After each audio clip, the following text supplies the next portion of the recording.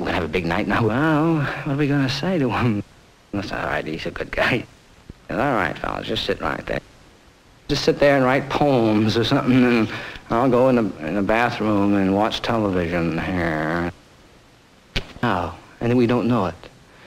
And that if we knew it, we would still know it. But that because we don't know it, we go around and act just the way that we do when we know it. Uh, but isn't it strange to realize that Buddhism is all involved with the fact that you don't have to get one way or the other about anything, and you can do anything you want, really.